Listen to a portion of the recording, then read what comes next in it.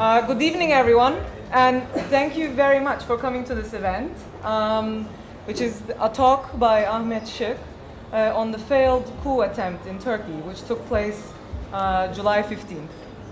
İyi akşamlar, hepiniz hoş geldiniz. Bu akşamki konuğumuz Ahmet Şık. Bizim de 15 Temmuz gecesi yaşanılan e, darbe girişimi hakkında bir görüşme yapacak. Uh, to start off, I'd really like to thank WeWork for lending us this space. It's a, a beautiful space, and they've been very helpful uh, with all the preparations. So a big thank you goes out to them. Başlangıç olarak WeWork ekibine çok teşekkür ediyoruz. Bizi bu güzel mekanlarında karşılayıp e, her türlü hazırlığı yapmamıza yardımcı oldukları için. Um, this talk by Ahmet Şık is one in a series of four talks. There will be a talk, uh, he'll be giving talks in New York, Boston, and Columbus, Ohio as well. Um, and each of the talks is being organized by an NGO that's based in the city that focuses on Turkish politics. Uh, this event is being organized by the Solidarity Platform for Democracy in Turkey, DC Solidarity for short, since it's a mouthful. Bu akşamki konuşmamız Ahmet Şık'ın, Türkiye'de yap... Pardon. Amerika'da yapacağı dört konuşma serisinin birincisi, diğerleri Boston, New York ve Columbus, Ohio eyaletinde gerçekleşecek. Bu e, konuşmalar dört farklı sivil toplum örgütü tarafından e, Türk konuları üzerine odaklanan sivil toplum örgütleri tarafından düzenleniyor ve DC'de yapılan bu konuşma Türkiye Dayanışma Birliği'nin yaptığı bir konuşma. Ses çok geldi bir anda. Um, the, I think there were a few of you who are asking, rightfully, uh, what is the Solidarity Platform uh, for Democracy in Turkey? Uh, it's a new platform. Uh, it's comprised mostly of professionals and uh, uh, academics who are interested in promoting dialogue about Turkish politics and who are interested in promoting dialogue for a different Turkey, a freer Turkey, a more equal Turkey. Bu e, Türkiye'de Dayanışma DC Sivil Toplum Örgütü e, profesyonel ve akademisyenler arasında e, kusura bakmayın şu an biraz şey oldu pardon. Türkiye Dayanışma Derneği DC'de kurulan bir sivil örgüt ve akademisyenler ve profesyoneller tarafından oluşuyor. Bu kuruluşun amacı Türkiye üzerine bir diyalog sağlamak ve Türkiye değişik bir Türkiye nasıl elde edebiliriz hakkında bir araya gelip konuşma sağlamak amacında. Um, as its core values and principles, um, DC Solidarity embraces pluralism uh, with equal and full rights of women and men, of minorities, um, and of workers. And um, the, those in the platform would like to see a Turkey that respects human rights, specifically with freedom of expression uh, and freedom of belief, uh, and respect rule of law and independence of the judiciary. DC Dayanışma Topluluğu e, çoğulculuğu üzerinde odaklanıyor ve bütün erkek ve kadınlara eşit e, saygı sağlamak amacında ve ayrıca azınlıklara ve işçilere. Bu e, platformumuzun ekibinde e, Türkiye'de insan haklarına saygı gösterme, e, düşünce özgürlüğü, konuşma özgürlüğünü sağlamak ve yasaların eşitliğini düzenlemek üzere çalışmaya çalışıyoruz. Um, the ideal is a secular Turkey, is a multicultural Turkey. The ideal is a Turkey that does not use violence against its own peoples and the peoples of other countries, um, and a Turkey that tackles inequality and discrimination. Um, and at the very core, again, a Turkey that is governed by participatory democracy. Amacımız e, çoğul kültürelliği sağlayan dağık bir Türkiye. Kendi insanlarına karşı şiddet uygulamayan ve başka insanlara karşı da şiddet uygulamayan bir Türkiye. E, Eşitliği sağlamaya çalışan ve eşitlik karşılığında bir Türkiye ve katılımcı bir demokrasi sağlamaya çalışan bir Türkiye.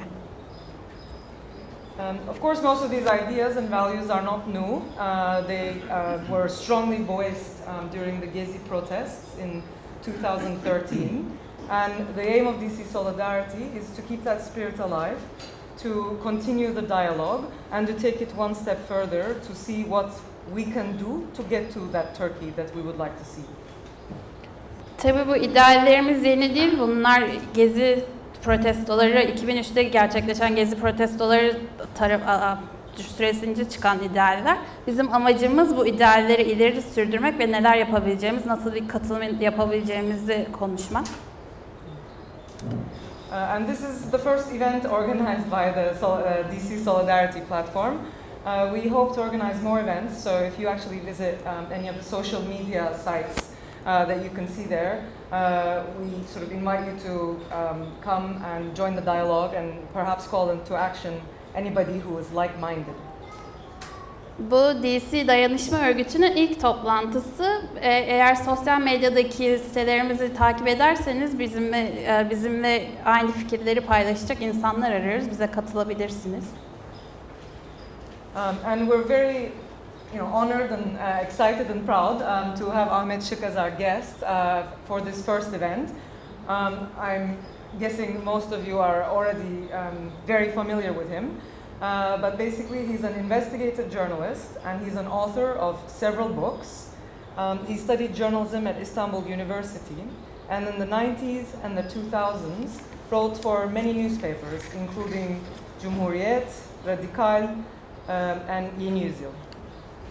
Bu ilk etkinliğimizde aramızda Ahmet Şık'ı görmekten oldukça onur duyuyoruz. Ahmet Şık'ı çoğunuz tanıyorsunuz. Bildiğiniz gibi kendisi araştırmacı gazeteci ve birçok kitabın yazarı. Kendisi İstanbul Üniversitesi Gazetecilik Bölümünden mezun. 91-2007 yılları arasında Cumhuriyet, Radikal, Evrensel ve Yeni Yüzyıl gibi birçok gazetede çalıştı.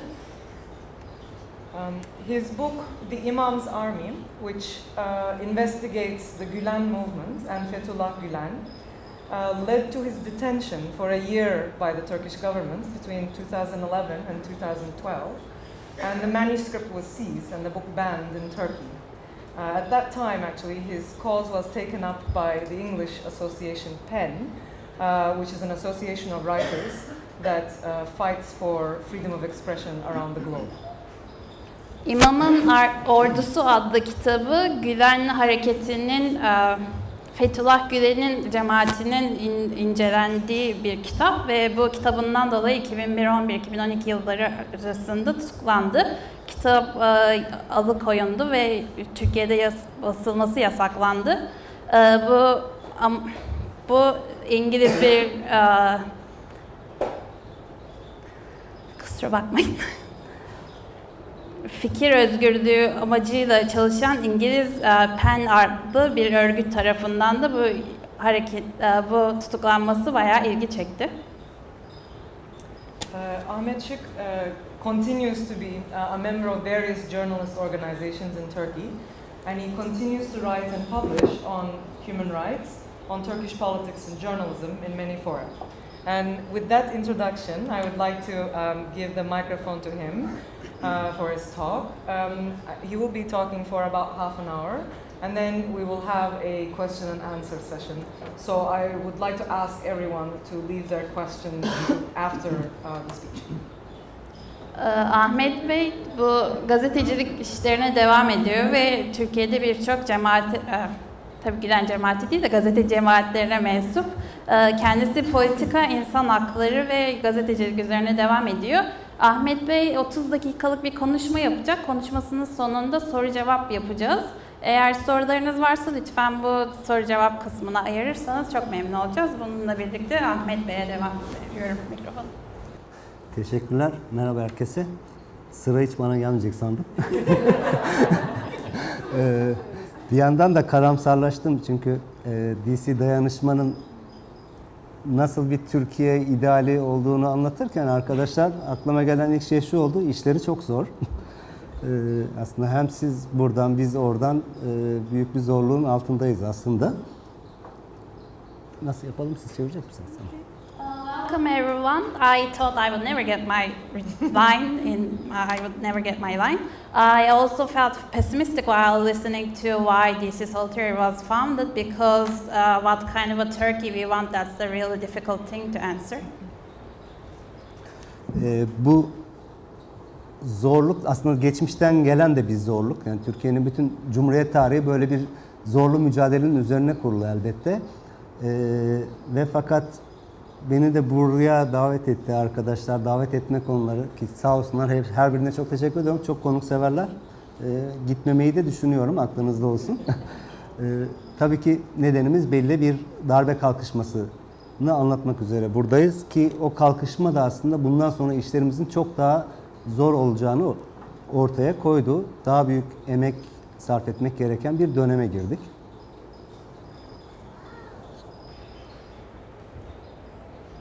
Uh, this difficulty about how we can come together to discuss what kind of a Turkey we want is coming from the past. Actually, Turkish Republic was founded on these kinds of difficulties.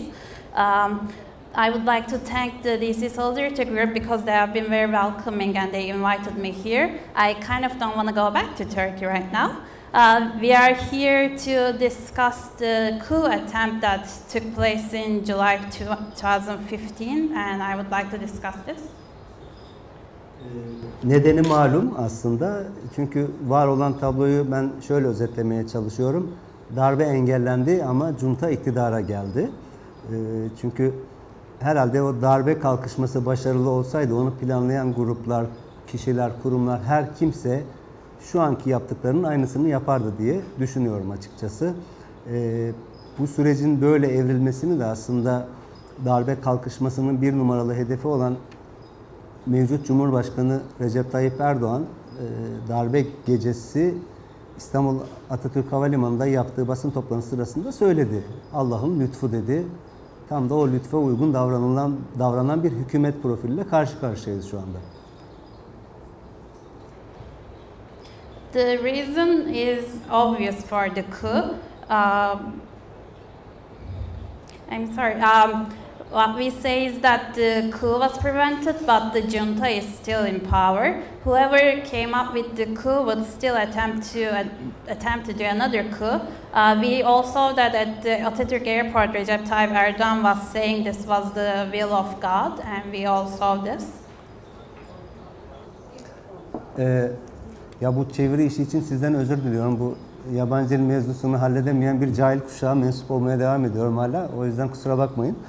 Ee, şimdi konuşmamdan anladığınız kadarıyla ki geçmişte de e, yakın süreçte söylediklerimi eğer takip ettiyseniz, yani bunu ukalalık olsun diye söylemedim, onu da altını çizeyim. Ee, ben 15 Temmuz gecesi yaşananın bir darbe kalkışması olduğuna dair zerrece şüphe duymayan birisiyim. Ee, tamamen bir iktidar karşıtlığı ya da Tayyip Erdoğan nefreti üzerinden kendini var eden bazı muhalif odakların baktığı yerde durmuyorum. Yani bunun bir AKP'nin senaryosu ya da tiyatrosu olduğuna inanan birisi değilim. Ee, umarım yanılmıyorumdur çünkü eğer yanılıyorsam birçok insanın günahına girmiş olacağım. Ee, öyle bir şeyin vebalini taşımak istemem elbette. I would like to apologize for the interpretation. I'm a member of a generation that didn't have the chance to study foreign languages. If you have been following what I've been saying in the media, I have no suspicions about this coup attempt. Uh, I don't stand with the opposition or those who are against Recep Tayyip Erdogan that were involved with this coup attempt. We all saw what happened. Ee, şu ana kadar çizilen tabloda, daha doğrusu hükümetin çizdiği tabloda ki o nasıl çizdiğini de biz sadece kendi medyasına ya da diğer medya odaklarına sızdırdığı bazı soruşturmaya ilişkin bilgi kırıntılarına bakarak değerlendiriyoruz. Ee, onların çizdiği tabloda şöyle bir şey var. 15 Temmuz gecesi bir kalkışma yaşandı. 240'tan fazla insan darbecilere karşı direnirken öldü. 30 civarında darbeci öldürüldü. Ve bu işi yapanın arkasındaki tek güç şu an FETÖ diye anılan Gülen cemaatinden bahsediliyor. Uh, up until this point, what we have been seeing is a picture the media that is followers of the current government, and we are kind of getting only breadcrumbs from actual truth about it. We saw that 240 people has died. Uh, 30 coup pl- plotters were actually killed.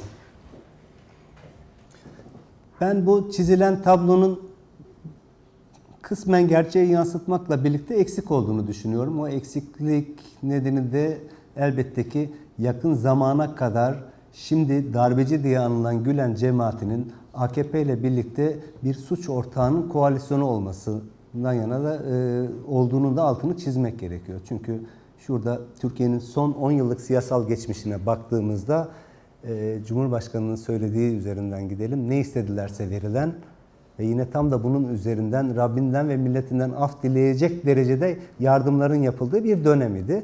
Dolayısıyla şu anda yani bu ortaklığın bitmesinden sonra bir taht savaşı nedeniyle bitmesinden sonra büyük bir savaşa tutuşmaların ardından e, tek fail Gülen cemaati olarak bize gösterilmeye çalışılıyor ve bizim buna inanmamız isteniyor. This painting that has been pictured is true, but I believe that there are some gaps in it. Upon this point, these um, people who were plotting the coup, I would like to say that they were partners in crime with um, the Gülenist movement. From what uh, this Gülenist movement up until this point was uh, giving the president, the current president, whatever he wanted. If he wanted the presidency, he got it. And this current president is someone who can just ask for um, uh, ask for forgiveness from God and from His people. Um, we believe that they got into a fight, and now the Gülenist terrorist organization, what is called FETÖ, is uh, behind this. Ee, benim durduğum yerden ya medyaya da yansıyan ya da siyasetçilerin ağzından dile getirilen iddialara bakarak 15 e, Temmuz kalkışmasına dair bazı fikirlerim var ve bunlardan birisi şudur ki e, bu darbe kalkışmasının ardındaki güçlerden birinin Gülen cemaatine mensup ordu mensupları ve poliste de uzantısı olan bir grup olduğuna dair herhangi bir şüphem yok. Ama Gülen cemaati dışında kalan bazı aktörlerin de bu darbe kalkışmasının içerisinde olduğunu düşünüyorum. Kimdir onlar derseniz siyasal aidiyetlerini bilmemekle birlikte Gülen cemaati mensubu olmayan ama Tayyip Erdoğan düşmanlığında bir ortak payda belirleyen bir ikinci bir büyük grup olduğunu düşünüyorum ordu içerisinde.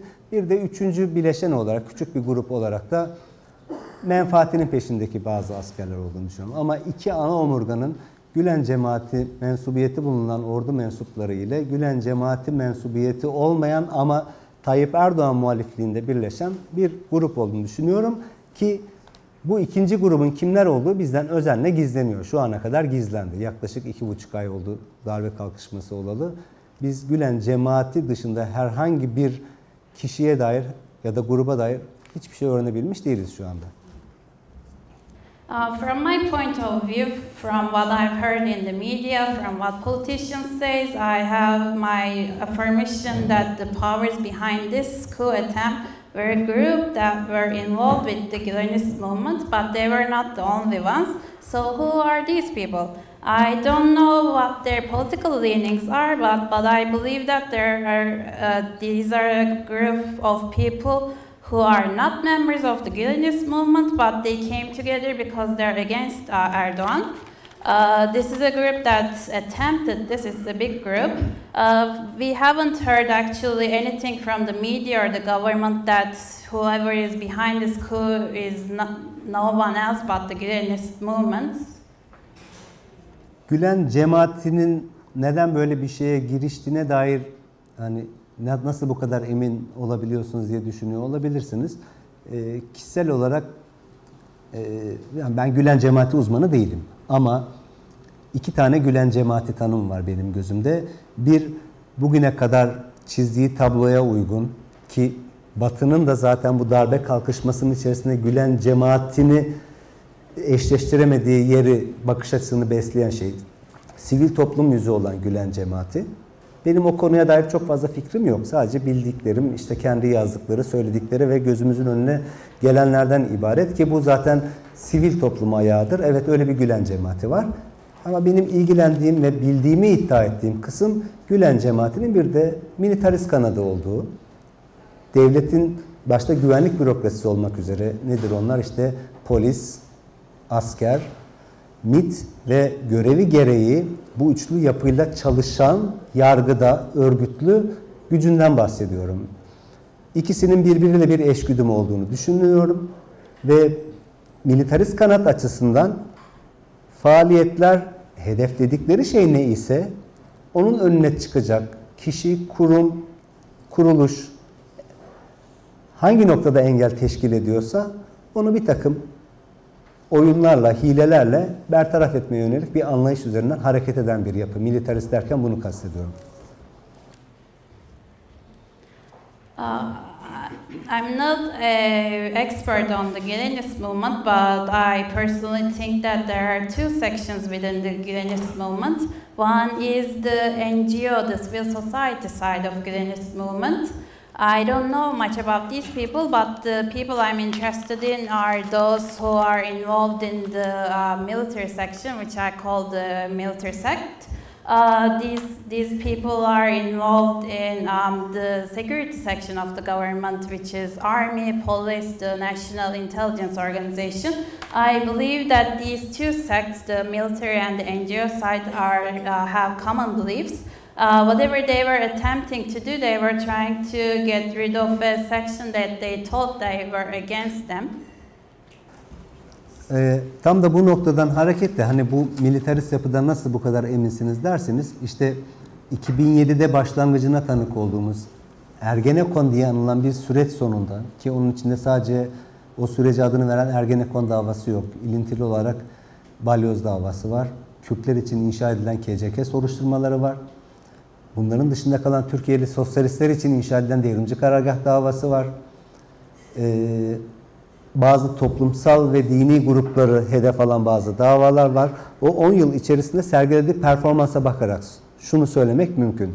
Gülen cemaatinin ordu içerisindeki varlığı 15 Temmuz gecesi yaşanan darbeyi yapabilecek büyüklükte, güçte ve etkide mi derseniz benim yanıtım evet.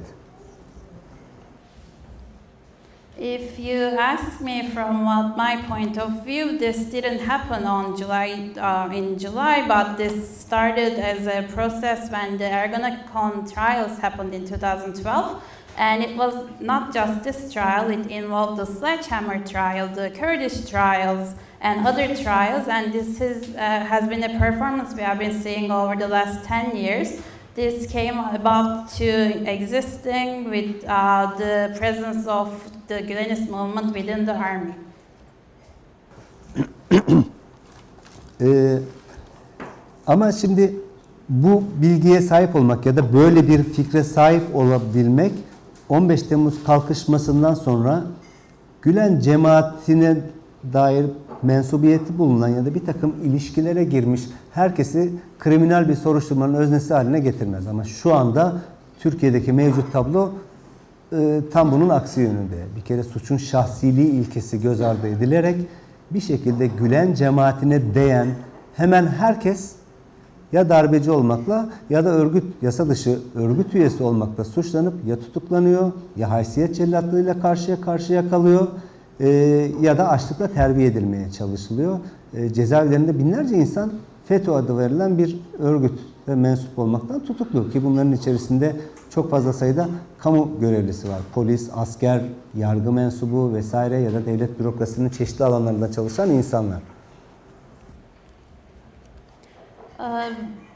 This is an opinion that didn't came into being after July 15, the coup attempt. This did not, um, since then, this didn't involve people who have been involved with the Grenist movement in the government. However, uh, we have seen that a lot of people have been put on trials. They were uh, taken out of from their positions in the government. They lost their jobs. They lost their reputation. There are over uh, 1,000 people in prison right now regarding this coup attempt. Ve cemaate bir şekilde değmiş, doğrudan ya da dolaylı herkes bir soruşturmanın öznesi olarak suçlanabiliyor. Ama ne istedilerse veren hükümete dair herhangi bir şey görebilmiş değiliz. Yani çünkü şu anki çizilen tabloda şu çok net ki e, benim tahminim bu darbe soruşturmasının AKP'nin merkezine kadar uzanacağını düşünüyorum. Yani tam göbeğine kadar gelecek bana sorarsanız. E, ve bu da şu an şiddetini bilmeye, bilemeyeceğim bir depreme yol açacak. Ve o zelzeleyi geciktirmek çabası içerisinde olduğunu düşünüyorum. Çünkü kişisel kanaatim bu darbe kalkışmasının siyasi temsilcisinin AKP'nin içinde olduğu. Uh, we are at a situation right now that whoever, uh, whomever touched the community can be put on trial, but whoever is wanted from the government, we haven't seen actually who is uh, within this. I think that this will go to the core of AKP, the leading government. I don't know what the impact will be, but this will lead into a huge earthquake that will shake the country. And I think that the main problem is within AKP. E, yalnız bu söylediğimden e, AKP içerisinden çıkacağını düşündüğünüz bu siyasi temsilcinin Gülen cemaati üyesi olduğu manası çıkmasın. Yani çünkü ben 15 Temmuz darbesinin e, sadece Erdoğan ve yakın çevresini hedef aldığını, sistemin olduğu gibi kalacağını ve sadece bazı aktörlerinin değiştirilerek aynı sistemin içerisinde gücü de dağıtarak aynı şekilde devam edeceğini düşünüyorum. O yüzden siyasi temsilcisinin AKP içinden çıkacağını düşünüyorum. Bu isim kim derseniz aklıma gelen bir takım şeyler, tahminlerim var ama bunu burada söylemem mümkün değil. Ya başka bir yerde de söylemem mümkün değil. Uh, when I say that this leader is within the AKP, I don't mean that this is a follower of the Gülen movement. I think that this coup attempt fo- uh, focused on Erdogan and his followers, but in any case, it will just change the people in charge, but would uh, the main actors would remain the same. I have my inclinations about whoever might be this political leader, but this is not the place for me to say. Ee, Ancak şöyle bir resim çizmek mümkün. 15 Temmuz darbesinin Türkiye'nin Suriye'deki iç savaşta üstlendiği ve çok sayıda ciddi savaş suçuna da rol almakla e, ilgili olduğunu düşünüyorum. Böyle bir uzantısı var. Artı bu darbe kalkışmasının iddia edildiği gibi ordu içerisinde küçük bir grubun değil, tam aksine çok sayıda üst rütbeliyi de kapsayan bir emir komuta zinciri içinde olduğunu düşünüyorum. Ee, Şu ana kadar ortaya çıkan tabloda bize sunulan ve darbeci olduğu iddia edilen bazı kişilerin süreç içerisinde aslında darbe karşıtı olabileceği ya da şu an darbe karşıtı gibi duran bazı insanların da süreç içerisinde darbeci olarak karşımıza çıkabileceği sürprizlere hazırlıklı olmamız gerektiğini düşünüyorum. Uh, let me paint a picture here. This coup attempt happened probably because of uh, Turkey's involvement in the Syrian situation, Turkey's war crimes against um, Syria. Uh, I think that there are a lot of people in high places that were involved within this, and I believe that during this period we will see that those people who were put on trial saying that they were plots. Um, the coup plotters will come out as clean, and those people we thought that uh, were against the coup will actually turn out to be coup plotters. Ee, Çünkü 15 Temmuz gecesi ve sonrasında yaşanan sürece baktığımızda çok fazla karanlık nokta barındırıyor. Tam da bu karanlık noktalardan yola çıkarak e, insanların kafasında yaşananlar bir tiyatro muydu sorusu da güçleniyor. Şimdi aslında bunu aydınlatacak iki tane e, karanlık periyot var. Şimdi iddia edilen o ki siyasi iktidar bu darbe kalkışmasını saat 16 sıralarında haber almış. E, bizler de diğer Türkiye'nin geri kalanı ve dünyanın geri kalanı gibi saat 22'de askerin sokağa çıkmasıyla 21.30-22 arasında sokağa çıkmasıyla öğrendik. Şimdi 16 ile 22 saatleri arası bir karanlık ilk periyot. Uh, there have been still some dark uh, points since uh, July 15 and the period since then. People have their questions, and they, the question whether this was a theater play keeps getting stronger. Um, we believe that the government heard about this coup attempt at 4 p.m. on the day of July 15, and we as the public heard about it at 10 p.m. when we saw the military come out of on streets. İkinci karanlık periyot da saat 22'den yani darbe kalkışmasını herkes öğrenmesinden Cumhurbaşkanı Erdoğan'ın televizyonda karşımıza çıktığı 00.20 saatleri arasına kadar geçen süreç.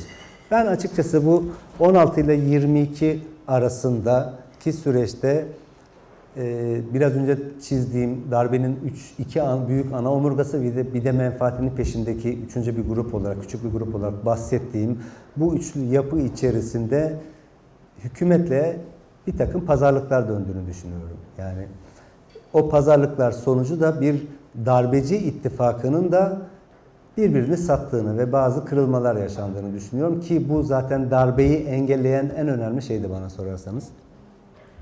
The second dark point about this period is the fact that from 10 p.m., when we saw the military going out on the street, to the period when Erdogan came up on TV at uh, 12:20 a.m. Uh, I believe that during the period from 4 p.m. to 10 p.m., these three interest groups I mentioned earlier, those uh, who are involved with Glenis movement, who were against him, and the third uh, group of people who believe that they have they could have some interest of their own, they got into sort of a fight, and they um, and at this point they put on. Um, they got in, involved with the government and they uh, fed the news to the government.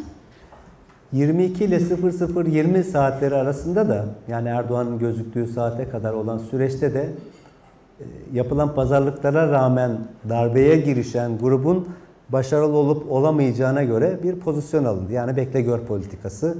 Ne zaman ki İbre hükümetten yana döndü, işte biz o zaman Erdoğan'ı televizyonda gördük ve kendi tabanına sokağa çıkın çağrısı yaptı. Ve o çağrıya uyarak ki bakın ben İstanbul için konuşuyorum. İstanbul'daydım 15 Temmuz gecesi. Ee, yaklaşık saat 01'e kadar sokaklar boştu. Yani kimin kazanacağı belli olduktan sonra sokaklar dolmaya başladı ki bunu küçümsemek için söylemiyorum. Çok anlaşılır bir şey. Çünkü karşınızda silahlı gözü dönmüş bir grup var yani ve öldürülme riskiniz var ki bunun ne kadar doğru olduğu da birkaç yüz insanın ölümüyle ortaya çıktı. Uh, during the period between 10 a.m. and 12:20, when Erdogan showed up on TV calling people uh, out on the streets, I believe that it was the point when they decided who was gonna win this, whether the, the inclination was towards the government or not. And at this point, uh, Erdogan came out on TV and he called out people to the streets. Um, I was in Istanbul at that point, and up until 1 p.m., the streets, uh, 1 a.m., the streets were empty. I believe that when it was decided that the government go, was going to win this coup attempt, uh, they called out people on the streets. Ee, ve bütün gece boyunca İstanbul ve Ankara'daki Ankara'da şiddet daha ağırdı. Ee, yaşanan çatışmalar sonrasında da ee, gün 16 Temmuz sabahı gün içerisinde biz çok bambaşka bir Türkiye'ye uyanabilirdik. Ee, o engellenmiş oldu. Ee, ama bu biraz önce bahsettiğim iki karanlık periyotta neler olduğunu biz öğrendiğimizde aslında darbe kalkışmasının arkasında kim vardı, neler hedeflenmişti, AKP'yi bu ne kadar ilgilendiriyordu, nasıl bir Türkiye ortaya çıkacaktı bu gibi soruların e, daha kolay yanıt bulacağını düşünüyorum. Ama yakın vadede bunu öğrenebileceğiz mi derseniz e, biraz zaman alacak gibi gözüküyor. Uh, during the whole night uh, in Istanbul and especially in Ankara, where it was more disruptive, these attacks might have led to a very different Turkey on the morning of July 16 when we woke up. Uh, who, we think that they decided whatever was involved, what was going to be come out, wasn't uh, still is not in place. I don't believe that in the short term we will be actually hearing about what happened during that night. Burada nokta koyayım çünkü soru cevap yaparsak daha iyi olacak herhalde. Kafanızda bir takım sorular vardır. Onları da sorduğumuzda herhalde eksik bırakmamaya çalışırım. Teşekkür ederim. Yeah, let's move on to the Q&A section. Sorusu olan yoksa dağılabiliriz ama. Uh, I'd like to ask everyone to be brief and to the point with their questions because we want to respect everybody and have everybody, uh, give everybody a chance to ask questions. Um, and we can start. Ben bir e, kişisel bir soru sormak istiyorum. E, bir sene cezaevinde kaldınız. Bunun e, servisini yapan Baran Suydu. E, Ahmet Altan da e,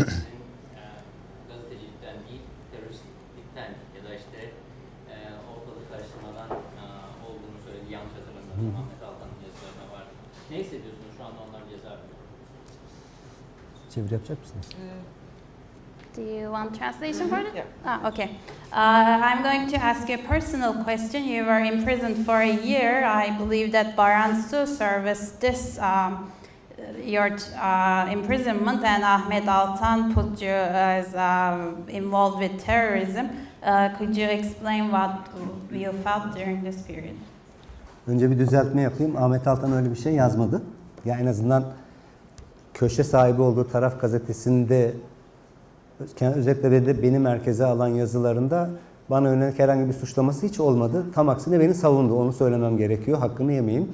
Evet, tutuklandığımızın hemen ertesinde ya ikinci günü gazetecilikten tutuklanmadılar diye bir manşetin e, olduğu bir gazeteyi yönetiyordu. E, kişilerden bağımsız bir şey söyleyeceğim ama siz kişisel bir şey sordunuz ve iki de isim verdiniz. Ben şu an Mehmet Baransu'nun içeride olmasına neden olan soruşturma konusunda bir e, haksızlık yapıldığını düşünüyorum. Baransu gazetecilikten içeride şu anda. Genelkurmay Başkanlığı'nın da reddetmediği, gerçek olduğunu mahkemeye bilirkişi raporuyla gönderdiği bir belgeyi yayınlamaktan suçlanıyor. Bu gazetecilik faaliyetidir ve Baransu bu suçlamadan dışarıda olmalıdır. Kişisel kanaatim, ben Ahmet Altan'ı 20 yıldır tanıyorum, 96'dan beri. Ee, tabii benim için hakkında bir şey konuşmak çok zor, açık söyleyeyim. Tamamen şey ama kişiselleştirmeden söylüyorum bunu. Türkiye'nin son 10 yıllık geçmişinde tarafın üstlendiği rol ve Ahmet Altan'ın takındığı siyasal tutum nedeniyle konuşmak zor. Yoksa ben Ahmet Altan'ın bir gazeteci olduğuna, su katılmamış bir demokrat olduğuna, su katılmamış bir darbe karşıtı olduğuna imzamı atarım ve Ahmet Altan içeride olmamalı. Hele ki darbecilik gibi bir suçlamadan hiçbir şekilde içeride olmamalı. Ahmet Altan gazetecidir. Yaptığı gazeteciliktir. Bence bir gazeteci olarak söylüyorum kötü gazeteciliktir. Ve kötü gazetecilik terör mahkemesinde yargılanmaz. Hiçbir mesleki faaliyetin yargılama yeri zaten terör mahkemesi değildir. Okurunun, izleyicinin nezdinde siz onu yargılarsınız. Ya gazetesini okumazsınız ya televizyon programını izlemezsiniz. Yaptığı kötü gazetecilik dersiniz ve bir yere not edersiniz. Bu kadar. Gazetecilikle ilgili olarak mesleki faaliyetlerin nedeniyle tutuklanmış herkes salınmalıdır. Hangi yerde duruyorsa dursun. Bu Kürtler için de söz konusu, sosyalistler için de, cemaat mensubu gazeteciler için de, AKP'li gazeteciler için de. Yani bu söylediğimden Ahmet Altan'ı, Baran Su'yu, cemaat medyasını, X medyasını ya da örgütünü savunuyor manası çıkmasın. Çok basit bir şey. Ben prensiplere sahip çıkmaya çalışıyorum. Çünkü bugün Ahmet Altan ve cemaat medyası için ihtiyaç olan basın özgürlüğü, ifade özgürlüğü hiç kuşkunuz olmasın. Yarın AKP medyası için lazım olacak. Ve biz o zaman da onlar dışarıya bırakılsın demeye devam edeceğiz. E, prensipler söz konusuysa yanlış insanlar için doğru şeyler söyleyebilirsiniz. Bence bunda bir beis yok. Oh, sorry indeed. Uh, let me make a correction here. Ahmed Altan did not write such a thing. He was, um, he made no such allegations in his writings towards me. The day after I was arrested, he was leading a newspaper that actually led such headlines. Uh, the trial Ahmed Mehmet Baransu is involved in is, in my opinion, unjust. He is being imprisoned for being a journalist, for releasing a statement that should be released to the public. I know that Ahmed Altan and I, uh, I know Ahmed Altan for about 10 years and I can't make an objective statement about him. I believe that he's a journalist and he's an obsolete Democrat and uh, he should not be in prison because he's a journalist and he's in prison for being one. I think he's a bad journalist, but this shouldn't excuse him being in uh, prison. Whoever, in my opinion, in my just opinion, whoever is being prison, imprisoned for being a journalist should be allowed to go free. Whoever they follow, whether, uh, whether it's AKP, whether they're involved with Gülenist, I will follow my own principles. I believe that this freedom of speech that we really, really need right now and that Ahmet Altan and the Gülenist people need right now is something AKP one day is going to need himself, themselves. Bir ek yapmak gerektiğini hissediyorum.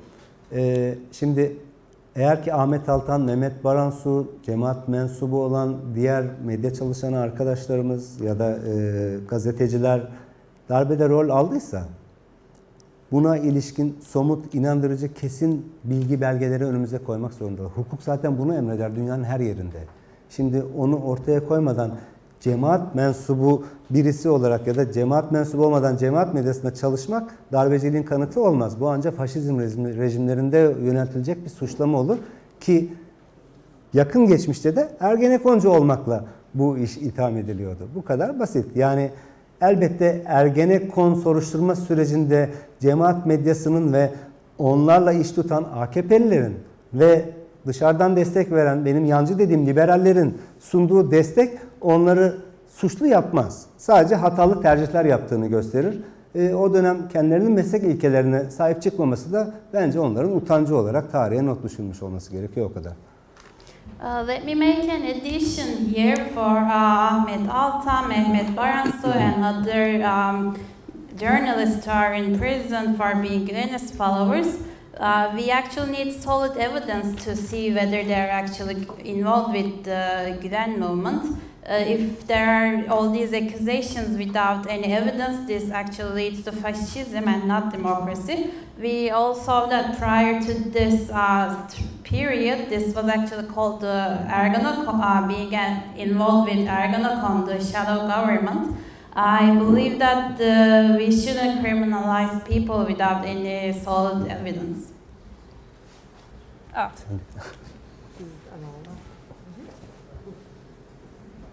Biraz evvel AK Parti'nin Suriye'de takıldığı siyasi tutumla darbe girişimi arasındaki bağlantıya dikkat çektiniz.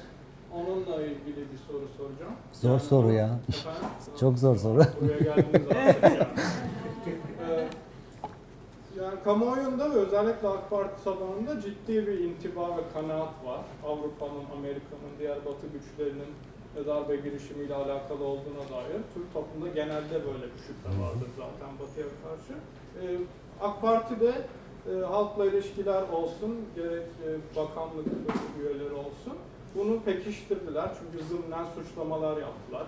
Ee, bazen istemkar açıklamalar yaptılar. Avrupa'dan hiç destek gelmedi ya da istemeye istemeye kınadılar falan gibi. Ee, ben bu konuda bilginiz var mı? Araştırdınız mı? Zahiri ya da gizli olarak e, uluslararası güçler darbe girişiminin parçası oldular mı? Oldularsa bu desteğin mahiyeti nedir? Bu belirleyici bir dinamik olarak karşımıza çıkıyor mu? Onu soracağım size. Te- tercüme Ah, sorry. sorry. Uh, my question is regarding what just stated earlier about uh, AKP, uh, this coup attempt being related to AKP's involvement with Syria. And in the public view, there is a serious belief that the West was actually one of the actors that were involved in the coup. AKP is also supporting this idea, saying that the EU is not supporting them. Uh, do you believe that there are actually some international powers involved uh, in this coup attempt? Yarın CIA başkanıyla görüşeceğiz. Biz ona söyleyeceğim ben. Sizin çocuklar başaramadı diyeceğim. Ya tabii bu yanıtı çok zor bir soru. Ee, ne evet diyebilirim ne hayır diyebilirim. Yani ben açıkçası hani buna bir solcu komplo teorisyenliği de diyebilirsiniz. Ee, belki sığ belki derin bilmiyorum. Durduğunuz yere göre değişir. Ee, ben Türkiye'de bir Türkiye'nin siyasi darbe tarihine baktığımızda başarılı olanlar işte 60 darbesi, 71 muhtırası o da darbe, 80 darbesi. Ee, ben buradan yola çık bir de 28 Şubat darbesi var. Önceki saydığım üçünden yola çıkarak e, Türkiye'de başarılı olmuş her darbeden sonra ve olası her darbeden sonra ben gözümü iki yere dikerim. Bir Amerika'ya bakarım, iki sermayenin çıkarına bakarım.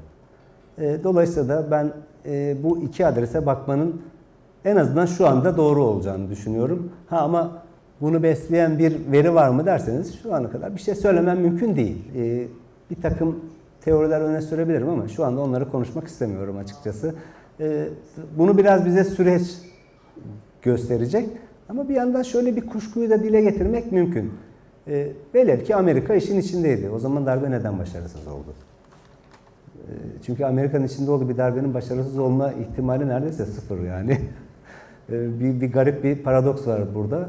Bilmiyorum göreceğiz. E, Ama ben uluslararası aktörlerin bu iş için içinde olduğundan eminim. Yani en azından bildiği halde engellememek olabilir. Bir şekilde bir katkısı olabileceğini düşünüyorum açıkçası.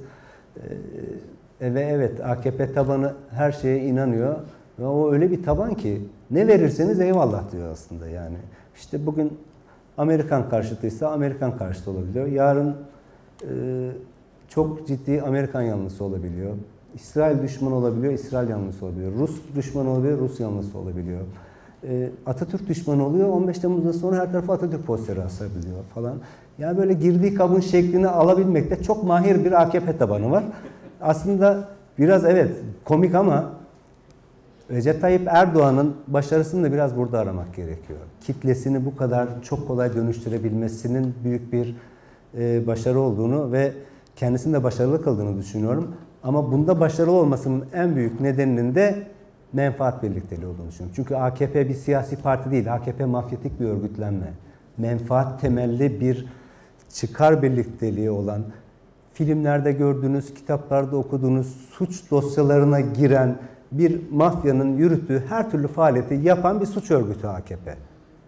Ve tabandan tavana kadar bir menfaat birlikteliği var. Tabandakilerin menfaatini çok anlaşılabilir bulabiliriz. Çok küçücük küçücük şeyler ama piramidin üstüne doğru gittikçe böyle tahayyül edemeyeceğimiz paraların ve çıkarların konuşulduğu bir birliktelik haline geliyor ki o da bize bir mafyayı anlatıyor aslında. Ee, ve biz de mafya ile hukuk sınırları içerisinde mücadele etmeye çalışıyoruz. Ve o hukukun temsilcisi, yargı mensuplarının hiçbiri de bizden değil. İşimiz zor yani. Okay. I am going to meet the CIA president tomorrow and I'm going to tell him that his people failed to achieve this coup. We can uh, look into the shallow or the deep areas and we um, what we need to do is that when we look back at the political history of Turkey, when we see the, the successful coup, coup, the coup d'etats that happened in the 1960s, in 1980, and then in February 28, uh, whenever I, uh, whenever I think about these coups, I have two points of uh, reflection. I first look at the US and then look at our budgetary successes. Um, we don't have any factual data about this so far. What we can come up with is ideas. of if the US was actually involved with this, then how come the coup failed? Whenever uh, US is involved in a coup, they actually uh, achieve it. Maybe in this case they um, knew about the coup, but they didn't do anything about it. Um, AKP is something that um, their followers, whatever you tell them, they actually believe in that. One day they can be against the US, or the, the next day they are for the US. Same with Israel, same with Russia, same with Mustafa Kemal Atatürk. They, um, they can fit into any shape that you try to mold them into. And I believe that this is the success of Recep Tayyip Erdogan. He knows his uh, followers and he knows how to manipulate his followers. Uh, there is this interest-seeking group in um, the AKP pyramid that uh, rises above from the followers up to the top. I believe that AKP is a ma mafia. They have done anything when you look into what a mafia does. They are actually a criminal organization. We can see as we go upwards in the AKP pyramid their uh, activities. They have, um, they, I can't read that. they have achieved whatever um, they try to do as a mafia. You, yes, yeah. Um, it sounds like you're not able to go back to Turkey. It's not safe for you. Are you able to get amnesty here, or have other countries extended you amnesty? Hmm. Bir teklifiniz var mı? A suggestion? e, tabii ki döneceğim. E, yani buraya kalıcı olarak gelmedim. DC dayanışma bir rahatlasın önce. e, burada geçici olarak ikametim var. E, sizlerle sohbet etmeye geldim. Elbette ki döneceğim. E, orası benim ülkem. Ve orada bir savaş var. Bu savaş demokrasi ve barış için. Ve ben o savaşın bir tarafıyım ve orada rolüm neyse gazetecilik açısından o rolün gereğini yerine getirmeye çalışacağım. Tabii ki hakikate eğip bükmeden her grupla nesnel mesafeyi korumaya çalışarak. Ve risk var mı derseniz e, yarın gelirseniz Türkiye'ye sizin için de var. Çok açık söyleyeyim yani. I will go back to Turkey. I'm not here permanently. I'm just uh, visiting as uh, Uh, the, the DC solidarity called for me. I came here to chat with you all. It's my Turkey is my country, and currently there is a war there, a war for democracy, and I want to be involved with this. I want to be on the side of democracy. Yeah, sorry.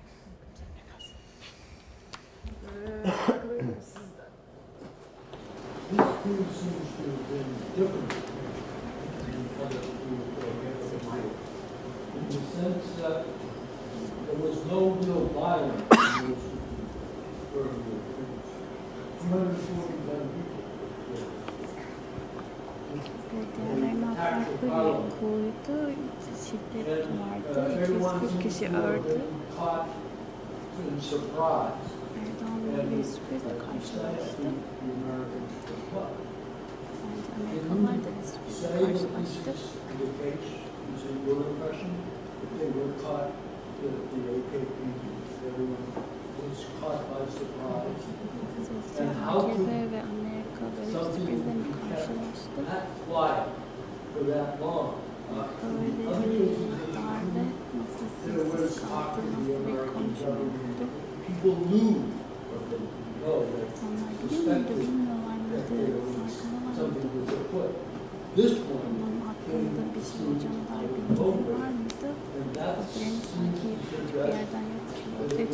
çıkmış. in fact protocol training. Ya eğer Türkiye'den bahsediyorsak e, hiçbir darbe sürpriz değil bana sorarsanız. Çünkü e, darbeciliğin beslendiği en önemli damar Türkiye'nin demokratik olmaması. Siz demokrasiyle bağınızı sıkı tutamazsanız ve demokratikleşme aracını işlevsel kılamazsanız darbe her zaman risk olarak karşınızda durur. Şu anda da var. Dolayısıyla bu manada baktığınızda bir sürpriz yok. Peki 15 Temmuz gecesi yaşanan bir sürpriz miydi derseniz benim için hem öyle hem değil. Ee, şu nedenle söylüyorum. Açıkçası hele ki faillerden birinin Gülen cemaati olduğunu düşünürseniz e, nasıl böyle bir işe kalkıştılar sorusunun yanıtını aramak evet gerçekten çok sürprizli. Ama bir yandan da bakıyorsunuz Gülen cemaati açısından bu işin arkasında oluyor olmak bence sürpriz değil. Çünkü 45 yıllık neredeyse bir örgüt, bir yapı ve kendilerinin şu an bize söylemediği bir hedefleri var. Ki Fethullah Gülen bunu bize ifade etmeden biz bunun ne olacağını bilemeyiz. Ve o hedefe ulaşmak doğrultusunda da bir takım planları, projeleri var. E, Ve en önemlisi e, başta güvenlik bürokrasisi olmak üzere devleti ele geçirmek. Ve bunun için de hayli yol kat ediyorsunuz. Ve kat ettiğiniz yolun en önemli virajını AKP ile birlikte alıyorsunuz.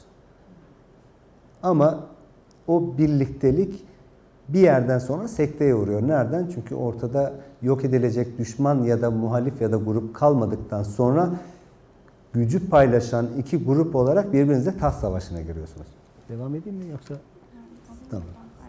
If you are talking about the case of Turkey, no coup comes as, as a surprise. The coup, um, the at the core of this coup, it comes from the fact that Turkey is not democratic. If you can't continue having a democracy, then it's not a surprise. Did July 15 came up as a surprise? No. It was a surprise to see how they attempted the Gülen movement, but it was not surprising that the Gülen movement was behind this. They have been in place for 45 years and they have been uh, running their plans, their schemes, and their uh, goal is to get the, the control of the government. They have been on this road with AKP, and at this point, they while they were trying to take a new path, they came. Uh, this led to a opposition of two powers. We have AKP and the Gülenist movement, and they did not agree, and it came to be like a Game of Thrones, basically. Ee, Gülen cemaatini tanımlayacak en iyi şey bence şu olur. Çok büyük bir sabır hareketi. Yani bu 45 yıllık geçmişinde kendilerini 15 Temmuz'a kadar getiren sürecin içerisinde ilmek ilmek örülmüş bir sabır var. Ee, ve o sabır bir yerde koptu. Şimdi biraz önce bahsettiğimiz noktaya gelene kadar AKP'li önemli bir viraj aldı dedik. Ve fakat taht savaşı başladıktan sonra 45 yılın geçmişinin üstüne dayalı bütün kazanımlarını yitirmeye başladı. Bürokrasideki gücünün tasfiye edilmeye başladı. Ee, her yapı için çok önemli bir yer tutan para ilişkilerinde ciddi bir kesinti oldu. Şirketlerine, medyasına, her şeyine el konuldu. Kamusal meşruiyetinde bir takım sıkıntılar yaşamaya başladı. Yargıda büyük bir tasfiyenin içerisine girmişler idi ki 15 Temmuz sonrası bu hızlandı ve bir anda 3000'in e, üzerinde hakim savcı derdest edildi. Ya tutuklandı ya görevden alındı ya da memuriyetten çıkarıldı. E, velhasıl kelam hani hepsini saymayayım. Bütün bu süreç içerisinde kazanımlarınızı bir bir yitirmişsiniz ve elinizde bir tek yer kalmış Türk Silahlı Kuvvetleri. Ki Gülen cemaatinin bence kendisini en iyi gizlediği yer Türk Silahlı Kuvvetleri'nin içerisindeydi ki 1980'lerin başından beri cemaatin orada örgütlenmeye başladığına ilişkin çok fazla e, olmasa da bir takım kuşkular vardı. Bu kuşkulardan yola çıkan haberler yapılmıştı ve velhasıl biliniyordu. İddia edilen o ki 15 Temmuz darbesi olmasa idi cemaatin Türk Silahlı Kuvvetleri'ndeki varlığını ortadan kaldırmayı hedefleyen bazı soruşturmalara start verileceği söylenmişti. Dolayısıyla son kale düşmüş olacaktı ve orada bir kumara oynadılar ve darbe kalkışmasına giriştiler diye bir iddia ortaya atıldı. Bana çok mantıksız gelmiyor bu. Dolayısıyla aslında cemaatçi subaylar açısından baktığımızda ortada bir kayıp yok. Çünkü zaten hem son kale düşecek ya da kendileri bir suçlamanın öznesi olarak tutuklanacak ya da oradan atılacaklardı ve bir riski göz aldılar. Onlar açısından anlaşılır bir durum bu. Ve evet çok haklısınız. Yani şimdi öyle bir tablo çıktı ki ortaya birdenbire bir Gülen cemaati gerçeğiyle tanıştı herkes. Yani yıllardır bunu söylemeye çalışan bir devlet bürokrasisini sadece bir tek grubun hakimiyetine vermenin risklerini dile getiren insanların tukakı edildiği bir süreçten sonra bunu yapanların hepsi birden azılı cemaat düşmanı olarak sahne aldılar ki şurada daha yakın geçmişte birlikte iş tutuyorlardı. Ve ortak düşmanlarını yok ediyorlardı. Evet yani haklısınız birdenbire ortaya çıkmadı. Dolayısıyla böyle bir yapının risk oluşturabileceği hesaplanabilmeliydi. Ama bunu hesaplayacak hükümetlerin çizeceği profil şu olmalıdır. Hukukun üstünlüğüne inanan, demokratik normları yerleşik kılmaya çalışan, sekülerizmin devlet bürokrasisi içerisinde ve toplumsal hayatta önemine inanan ve devlet içerisindeki bürokrasideki görevlendirmeleri liyakat üzerinden yapmaya çalışan siyasi temsilciler bunu yapardı. Türkiye'nin siyasi tarihinde hiçbir zaman böyle iktidar maalesef gelmedi yani.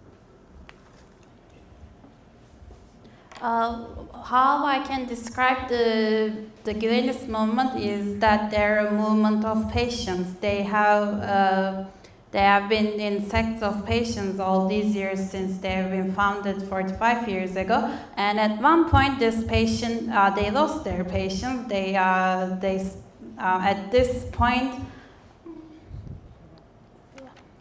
Uh, and, and, also at this point they started losing their power. Uh, their monetary links were severed.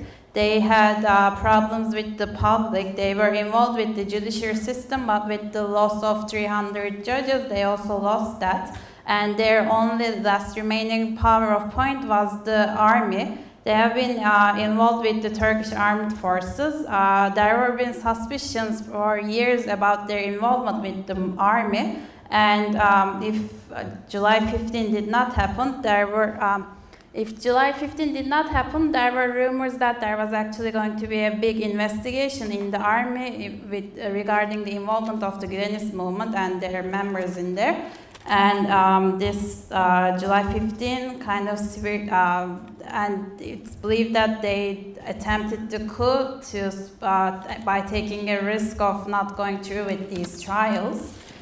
Um, that was their last. Uh, that was their last high-ranking point within the Turkish government, and they took a risk. And now we were suddenly involved with the Gülenist movement in all sects in the country.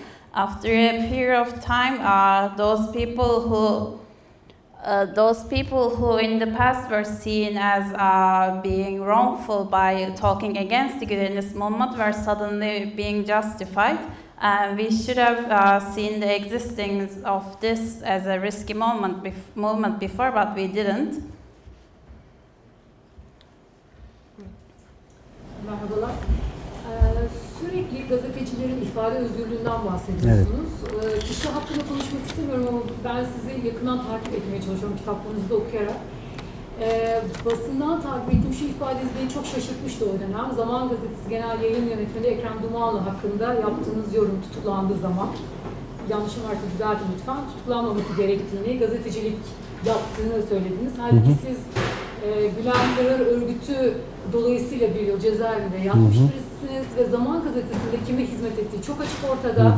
Belki buradaki birçok arkadaş ya da Türkiye'deki birçok arkadaş kumpas davalarını maalesef ki artık kumpas olduğu açıklanmasına 3 ay varken keşfettiler ama ailesinde çok yakından bu davalar içinde bulmuş birisi olarak Evet. çok öncelerden beridir gerçeğin ne olduğunu görebiliyorduk.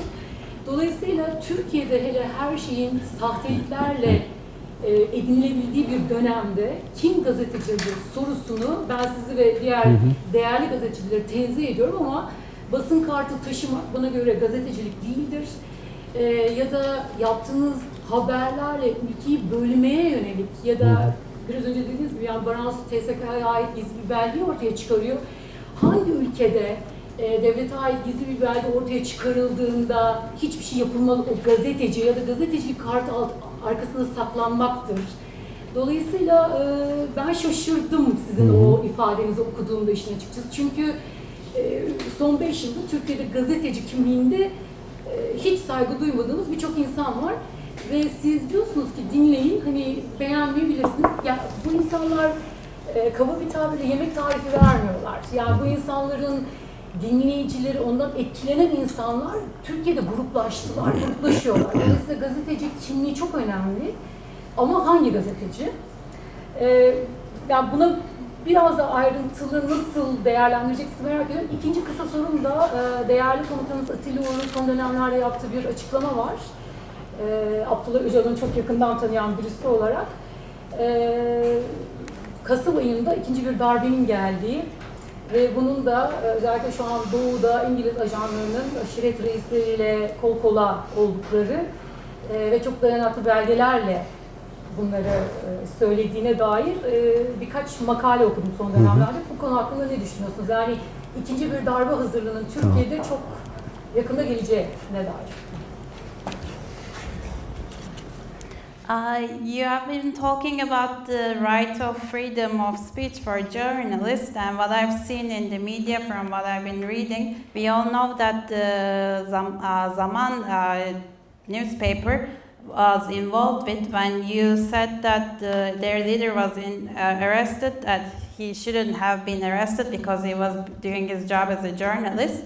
Many people here and uh, in Turkey have been seeing all these trials, and I've been uh, in close relationships uh, with these journalists and have known about the truth for ages.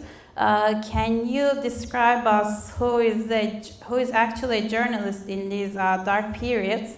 Uh, having a badge is not being a journalist. In what country, uh, when there is a journalist bringing about secret government documents and making them these publics, uh, there is no action be taken in which country?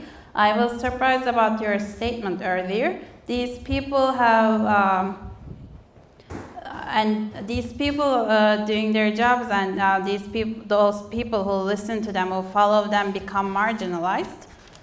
Uh, in Attila Ur's statement, uh, a statement he made recently, and he knows Abdullah Öcalan very well, he made a statement recently saying that there will be a second coup attempt in February, and he has uh, strong backing and evidence from the British intelligence. Do you think that there is a second uh, coup attempt happening, and what should Turkey do about it?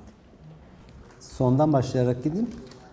Ee, herkes fikrini söylüyor. Siz de beni e, herhalde saygıyla karşılayacaksınız, karşılayacağınızı düşünüyorum. Ben Hasan Atilla Uğur'u sizin gibi saygıya değer birisi olarak görmüyorum her şeyden önce. E, konuşmaların da sırf agitasyondan ibaret olduğunu düşünüyorum. Yani dediniz ya İngiliz ajanları aşiretlerle kol kolaymış. Hani bunun belgesi? Pardon ama ya bir belge yok ortada. Hasan Atilla Uğur da kendi siyasal pozisyonu üzerine bir takım tahliller yapıyor. Bunu söylemeye de hakkı var elbette. Ee, ama ben. Saygıdeğer komutanımız dediniz. Yok, ha özür dilerim. Tamam yanlış anladım. Her neyse yani bence Hasan Atilla saçmalıyor. Çok açık söyleyeyim. Bu İngiliz aşireti mi, aşiretlerle İngiliz ajanları kol kola hikayesinde. E, bu biraz bize ilkokuldan beri öğretilen resmi tarih söylemini hiç aşabilmiş değil.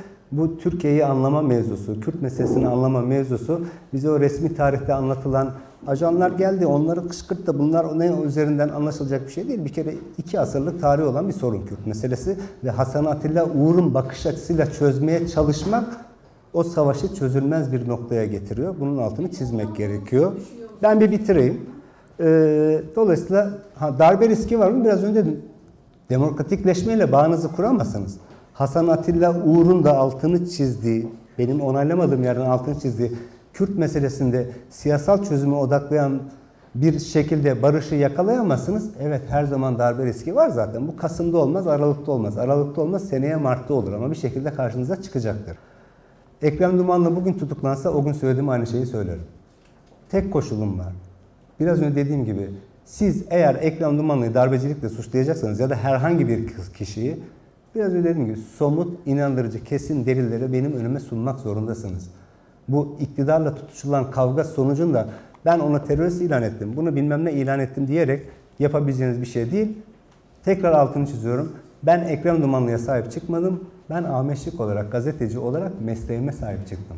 O gün Ekrem Dumanlı'nın başına gelen, inanın yarın sizin okuduğunuz gazetedeki arkadaşlarımızın başına gelecek. Bir başkasının başına gelecek. Dolayısıyla eğer şimdi siz itiraz etmezseniz, itiraz edeceğiniz bir ortamı hiçbir zaman bulamayacaksınız. Sevmeyebilirsiniz, bu kadar basit. Her, yazdığı her şey doğru mudur? Değil. Kişiselleştirerek söylüyorum. Benim hakkımda onlarca yalan yazdılar. Ben bir tekine dava açmadım, açmam da. Onların yazma hakları var. Doğru söyledikleri manasına gelmiyor. Ben de bir gazeteci olarak ya yanlış yalan yazıyorsunuz yazısı yazarım bu kadar. Onlar da gazeteci, ben de gazeteciyim.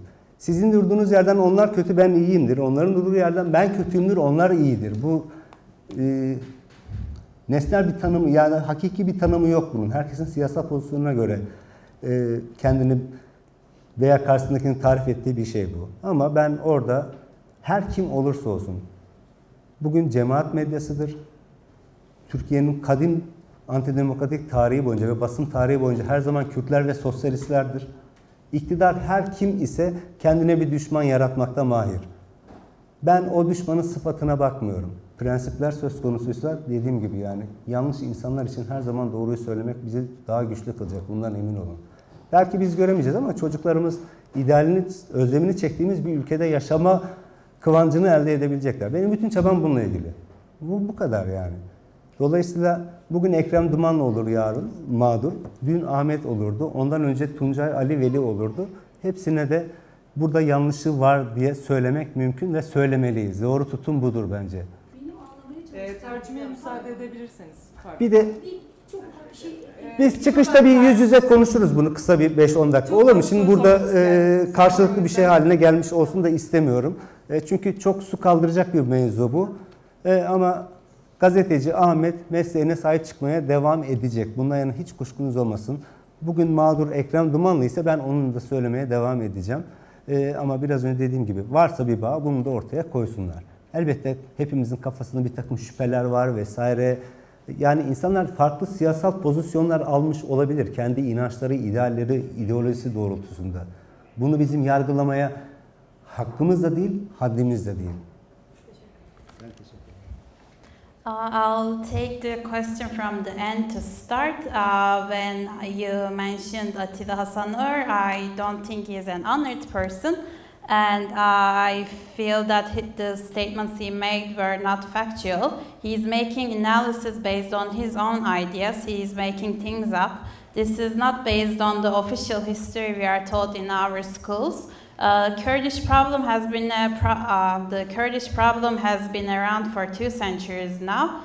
Uh, is are, is there still a coup risk? Sure. If there is no democracy, if there is no peaceful solution with the Kurds, then a coup may happen in November or March next year. If you bring me solid evidence, if uh, when you're accusing people of being uh, sorry, I'll wrap it up. Uh, bring me solid evidence if you're accusing people of being involved with the coup. I did not defend his, uh, him as a person. I defended him as a journalist, as doing his job. I defended him for doing his job. Uh, they have been telling many lies about me, and I never sued them before. As a journalist, I'll say that they're doing jobs. Uh, there is no objective factual definition whenever uh, whomever is, it is, whether they're involved with the Gülenist movement, who, uh, if there's some, uh, whomever is in power, whether they're involved with the Gülenist movement or not, they will always have enemies.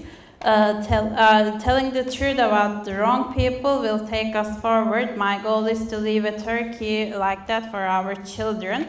Uh, as a journalist, me, Ahmet, will continue my profession. If there's any suspicion, they should just bring me the evidence.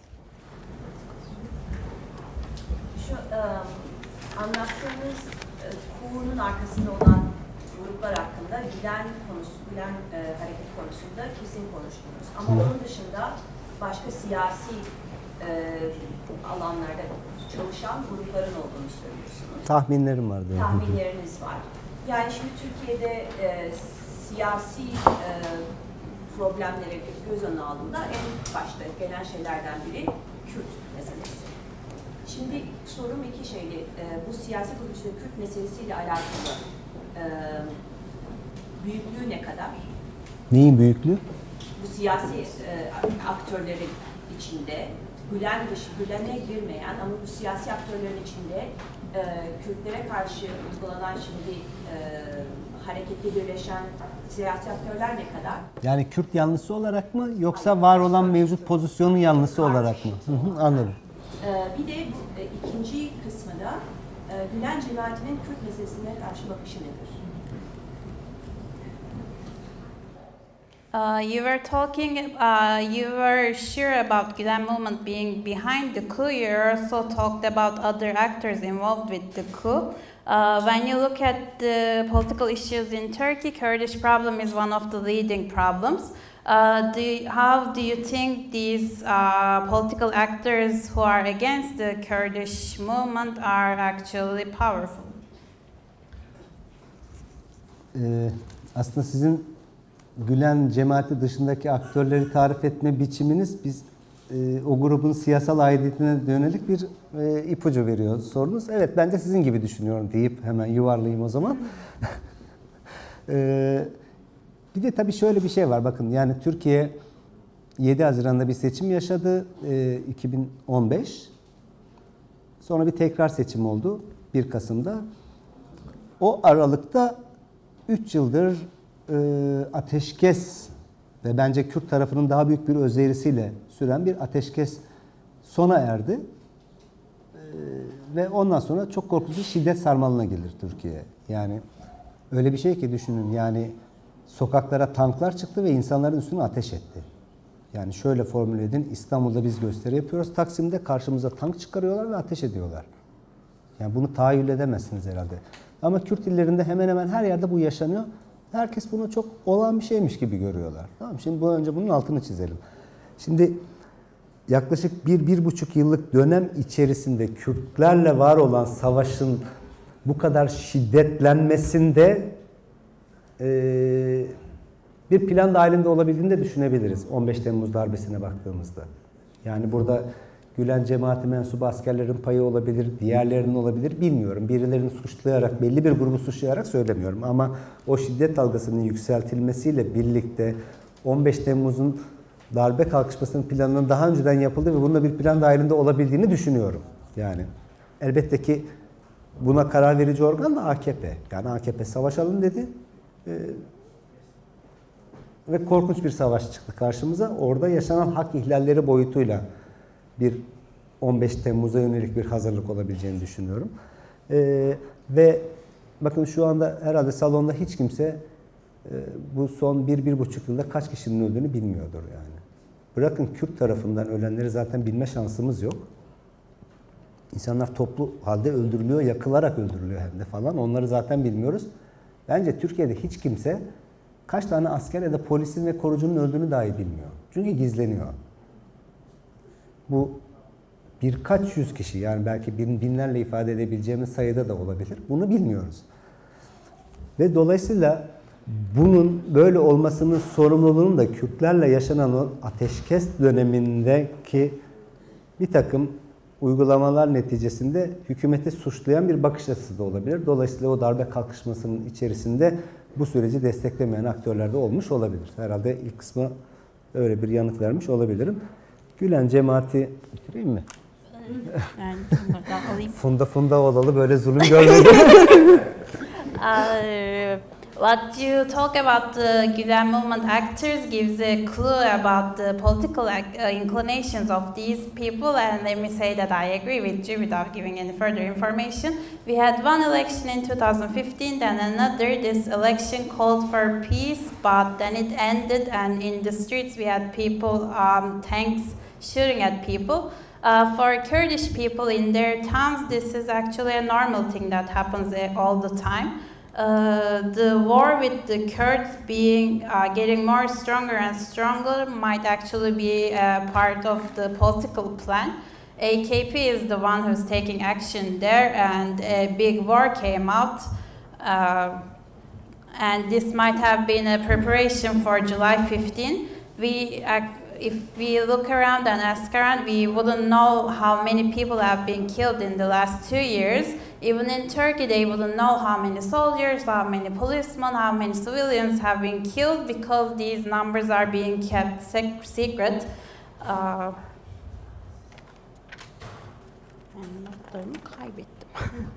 Uh, and Ee, Gülen cemaatinin Kürt meselesine bakışını kısaca şöyle özetleyebiliriz. Kürt var mı derseniz evet var derler ama sadece Müslümansa. Bu bu kadar basit bakıyorlar aslında. Yani on, ben açıkçası şu anki savaş politikasının e, iktidara ortak olduğu dönemde Gülen cemaatinin ortaya koyduğu mücadele biçiminin bir uzantısı olarak fiiliyata geçtiğini düşünüyorum. Evet, güvenlik bürokrasisindeki cemaat kadroları tam da bu şekilde Kürt meselesini çözme konusunda raporlar yazıp koymuştu o zaman, o zaman Erdoğan'ın önüne. Şu an o uygulanıyor. Yani hatırlarsanız yakın geçmişte Sri Lanka modeli diye tartışılan şey buydu. Dağdakini öldürmek, ovada bağlantılı olduğu insanları tutuklamak, PKK'den veya Kürt siyasal hareketinden doğacak boşluğu da tamamen Müslüman dini asimilasyonla e, doldurmak hedefi vardı. E, bu, yani Kemalistlerin Kürt meselesine bakışıyla, ulusalcıların Kürt meselesine bakışıyla Gülen cemaati arasında zerrece bir fark ya da çatlak yok. O noktada tam bir mutabakat olduğunu düşünüyorum. Uh, if you ask what uh, how the Gülen movement sees Kurds, they say yes, there are Kurds, but only if they are Muslims. The war policy in place right now is uh, what Gülen movement had in place earlier. It's currently being implemented. Uh, this is actually what we call the Sri Lanka example. Uh, it is uh, they are trying to implement this by killing those who are not Muslims those who are not Muslims and uh, trying to implement a religious assimilation in place. Bir sonraki soru. Çok teşekkürler. Rica ederim. Buraya geldiğiniz, bizi aydınlattığınız için Estağfurullah. ve e, demokrasi için savaştığınız için. Zor günler hepimiz için, Türkiye için çok çok zor günler. Ama siz hala ümitlisiniz gibi geliyor bana. Bir oraya oturayım bir de kendime bakayım istedim bir an. Yani, yani. Oradan öyle mi gözüküyor? Böyle bir e, demokratik bir ülke bırakacağım diye konuştunuz. Onu duymak güzel çünkü gerçekten hepimiz çok üzgünüz. Şey, kim kurtaracak bizi? Yani e, e, Ben var? değil. ben değil. yani ne olacak önümüzdeki bir sene, iki sene, üç sene içinde kimler demokrasiye sahip çıkacak, kimler ayakta durabilecek bu mafya dediğimiz e, mafya sistemini uygulayan idarecilerimize? Nasıl olacak bunlar? Ne olacak? Uh, thanks for coming here and also thanks for fighting for democracy. We are going through very difficult times and it seems that you still have somewhat some hope. When you, uh, when you mentioned that you want to leave a democratic country for your children, uh, it's nice to hear. But my question is who is going to save us? What's going to happen in the next few years? Uh, who is going to be defending democracy? Ya Türkiye hakkında konuşacaksak bahsettiğiniz zaman dilimi çok uzun yani. Bir yıl, iki yıl, üç yıl sonra ne olacağını bence Tanrı bile bilmiyor yani. E, varsa eğer. E, çünkü gerçekten hani Türkiye'den bahsedeceksek o kadar uzun vadeli planlar yapabileceğimiz bir ülke değil. E, bir hafta sonra gittiğimde bambaşka bir ülkeyle karşılaşabilirim. Kim sorusunun yanıtı çok net aslında. Yüzü demokrasiye dönük olan herkes. Yani siz, yani ben, yani diğer arkadaşlar. Bu kadar basit yani aslında. Ee, hani çok teşekkür ederim. Oradan çok ümitli gözüküyormuşum. Aslında çok karamsarım. Ama e, Meltem Arıkan diye bir yazar arkadaşım var. O kitapların birinde şöyle tarif eder Umut'u. Umut lanettir der. Herhalde siz de ben de lanetli olmayı tercih eden insanlarız. Yani bizi biraz ayakta tutan şey herhalde bu. Çünkü bir idealize ettiğimiz bir yaşam biçimi ve bir ülke hayalimiz var. Çünkü bütün o Cumhuriyet tarihinin Osmanlı'dan miras alınan tarihin üzerine oturmuş bir ülkede demokrasiyle arasındaki makasın giderek açıldığı bir ülke profili çıktı karşımıza. O makası giderek kapatma hayalimiz var. E, onu da bir arada durarak yapacağız. Hani nasıl olacak derseniz gerçekten yanıtım yok. Ama en azından ayakta kalmaya devam ederek bu olacak. Yani gerçekten ayakta durduğumuzu göstermek, bir arada durduğumuzu göstermek ve dayanışmamızı göstermemiz bile şu koşullarda çok devrimci bir eylem gibi duruyor. Ve evet yani ben hani hiçbir zaman devrimciyim iddiasında olmadım. Ee, çünkü bugün bir arkadaşla sohbet ederken söyledim. Çünkü o benim için dini bir terim olarak kullanmıyorum. Çok kutsal bir şey. Ben o devrimci yaşam biçimini hayatımda uygulayabilen bir adam değilim. Böyle bir insan değilim. Dolayısıyla kendime devrimci diyemem. Ama e, ülke koşullarına baktığımızda demokrasi talep etmek bile çok devrimci bir duruş gerektiriyor. Yani böyle de bir berbat bir sarmalın içerisindeyiz. E, ve evet çok zifiri karanlık var ama bir şekilde hani Nazım'ın dediği gibi birilerimiz yanacak ve öyle aydınlığa çıkacağız. Yapacak hiçbir şey yok yani. Uh, to talk about Turkey, what you say as one or two years is actually a very long period of time. It's, uh, it's a country where we can't make long-term plans.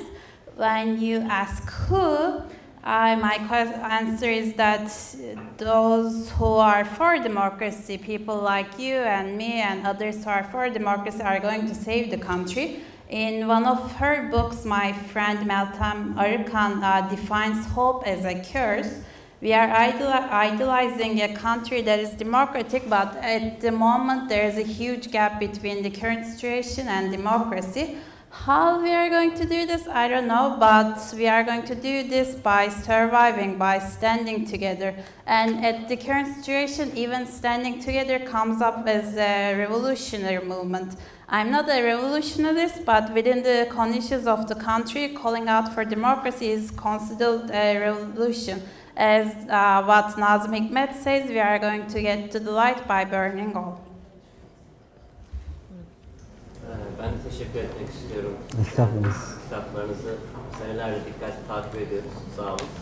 Ee, 15 Temmuz darbe girişiminde pek çok hani karanlık noktalar var dediniz. Ee, AKP içinde hala Evet. e, bağlantılar var bahsettiniz.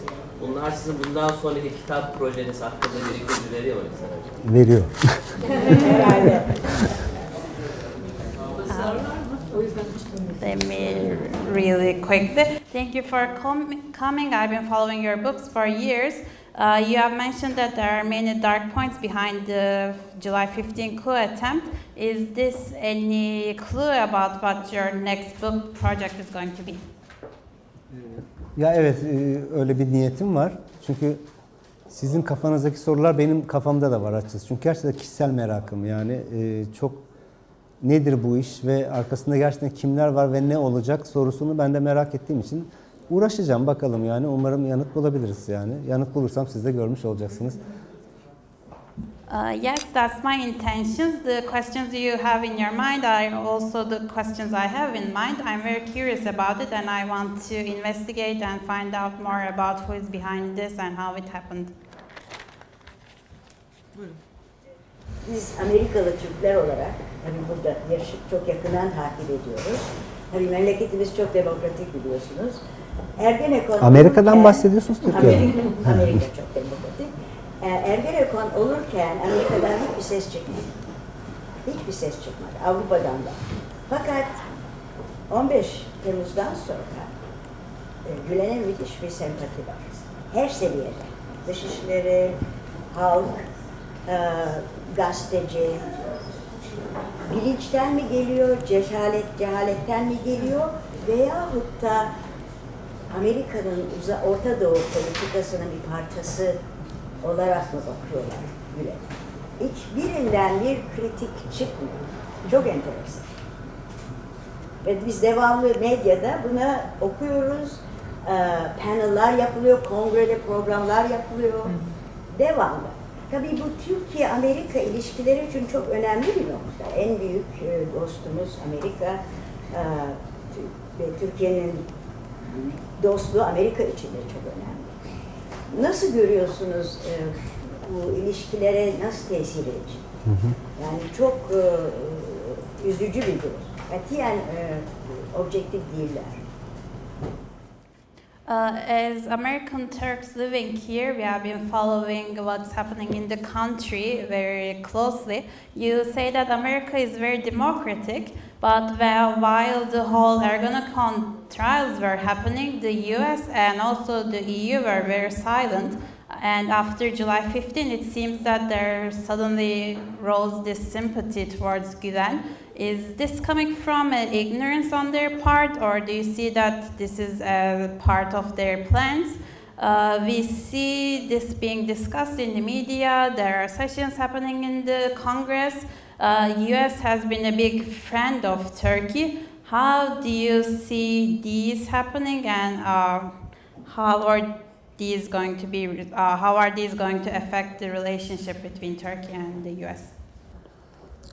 Ee, ya Türkiye'nin batısının Gülen cemaatine yaklaşımının biraz eleştirel bakıyorsunuz tabii haklı olarak. Ee, aslında bize şunu gösteriyor. Yani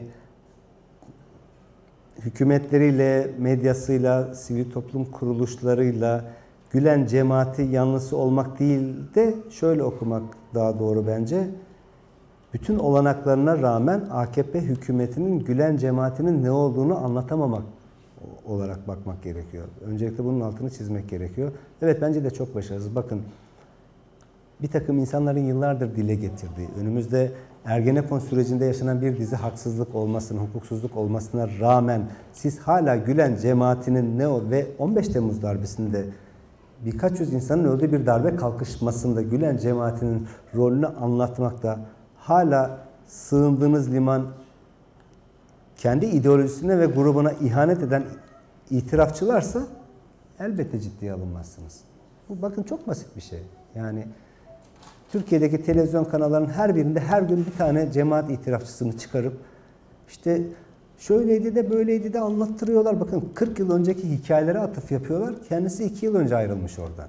Pardon 38 yıldır niye oradaydın? Tamam mı?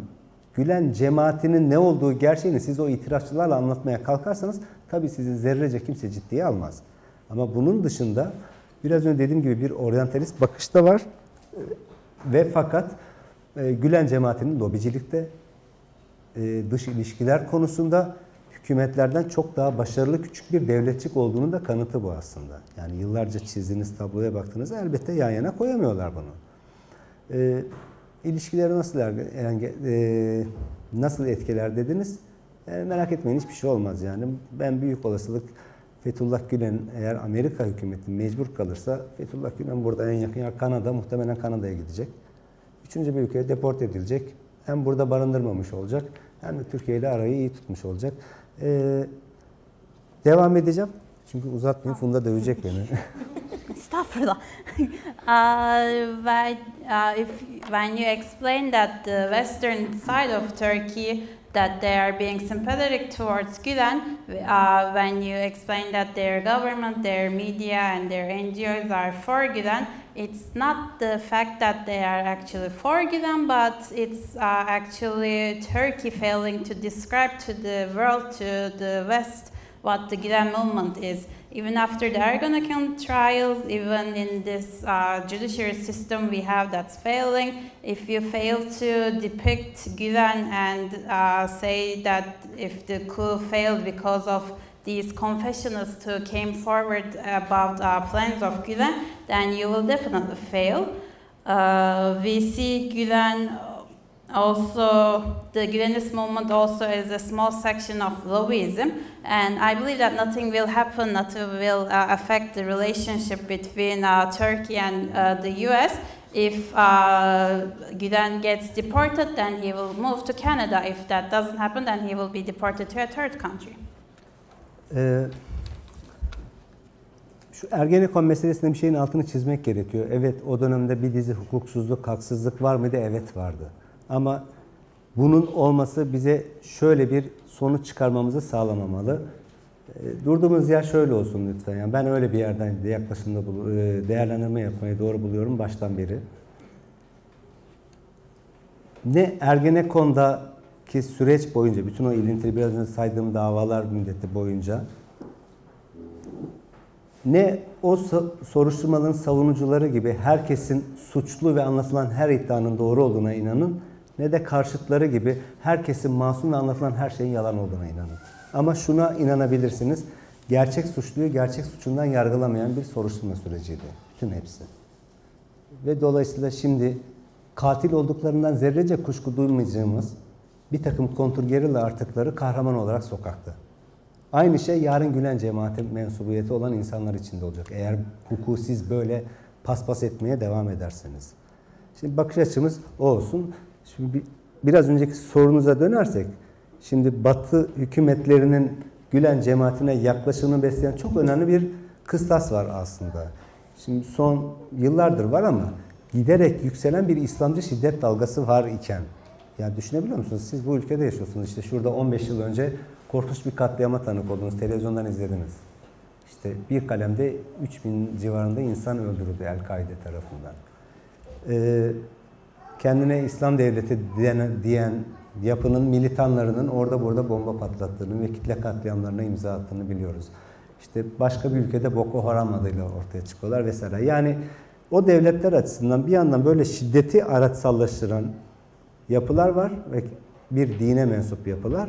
Aynı dine mensup olup bir de ben aslında bütün farklılıklara saygılıyım ve herkesle bir arada yaşamı savunuyorum iddiasında olan ve ılımlı bir İslam'ı temsil ettiğini söyleyen bir yapı var. Siz hani kimin önüne böyle iki seçenek çıksa elbette ki ikincisini tercih edersiniz değil mi? Bu, bu bir yaklaşım meselesi. Yani ama bu o yapıların gerçekten ılımlı İslam mı istediği konusunda bir takım şüphelerimiz olmamasını da sağlamıyor yani. Elbette ki sorgulamak gerekiyor ama seçeneklerimiz buyken doğal olarak ikincisine yüzünü çeviriyorlar ve tabii ki böyle bir kalkışmaya da inanamıyorlar. Siz orada işte inandırıcı delillerinizi ortaya koymak zorundasınız. Bize koydukları deliller nedir şu ana kadar? Bazı ifadeler. Şimdi ifade sahibinin fotoğraflarına bakıyoruz. Hepsinin kaburgalarını kırmışlar. Şimdi dünyanın her tarafında hukuk devleti olduğunu iddia eden her yerde işkence altında alınan ifadenin geçerliliği yoktur. Bakalım yargılama sırasında ne olacak? Belki gerçekten doğruyu söylemişse bile o görüntüler nedeniyle bu tartışma konusu olacak ve haklı bir tartışma e, kuşkudur yani bu. Siz yani bir işkence yapıyorsunuz insanlara bir de bunu kendi ajansınız üzerinden sızdırıyorsunuz. Boy boyda yayınlanıyor görüntüleri kimse de söylemiyor kardeşim işkence yapıyorsunuz ne yapıyorsunuz diye. Gerçekten katil de olabilir. 240 kişiyi tek başına öldürmüş de olabilir. Bu kimseye işkence yapma hakkını vermiyor. Herkes hukukun üstünlüğü üzerinden, demokratik normlar üzerinden yargılanma hakkına sahiptir. Ve bunu ihlal ediyorsa devlet bizzat suçladığı teröristin kendisi olur zaten. Eğer bunu yapmaya devam ediyorsa ve bunu savunuyorsa Türkiye Cumhuriyeti hükümeti zaten teröristtir dememiz çok mümkün. Ve ben diyorum.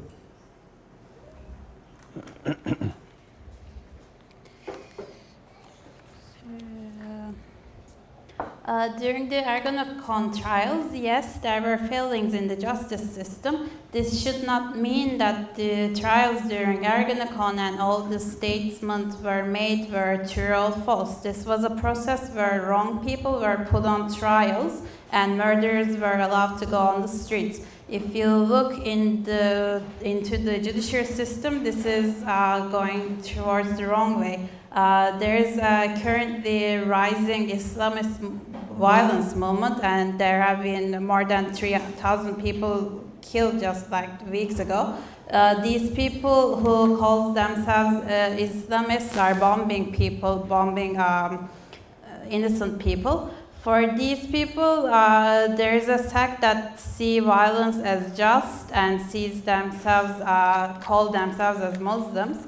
Um, we don't have many options here when we see these kinds of people are calling themselves Muslims and the people we have in the power right now. And uh, we need to believe that uh, there should be evidence in all cases. And uh, while during the July 15, we saw that there were reports of people with broken ribs, and these people were tortured, but nobody actually went out and said anything about this we should be discussing all these, these things, even if they were murders or they uh, did all these terrible things, they should be uh, justly put on trial. Um, the last question? Mm -hmm. Any last questions? Son sorusu olan? I have an intrigue question.